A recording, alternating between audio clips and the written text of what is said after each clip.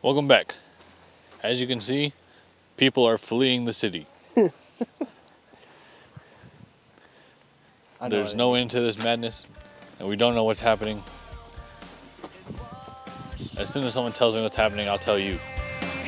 They just put me here.